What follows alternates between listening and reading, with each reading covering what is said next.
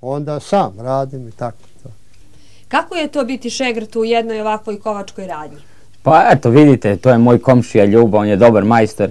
I tako s vremena na vreme kad neke teške stvari radimo, onda ja dođem, pomognem mu tu radim.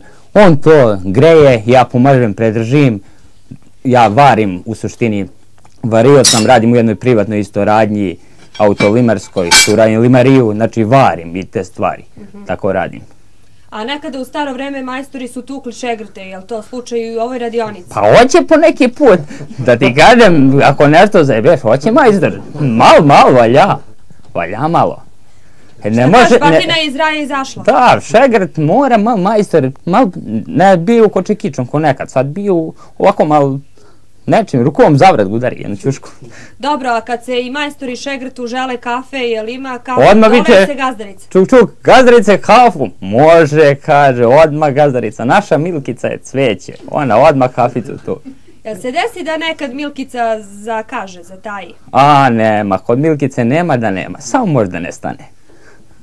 Dobro, jel bi ti preporučio tvojim vršnjacima i ovde momcima iz Svetlića da budu šegrti? Valja, valja sve valja. Slušaj, ja se bavim dosta zanata. Ako ne znaš dosta, nema para. Mora da radiš sve da bi imao pare. Ako ne radiš, nema ništa. Ja sam sve probu u životu. Ja mora sve, nema. Ako ne radiš malo ovo, malo ono, malo ovo.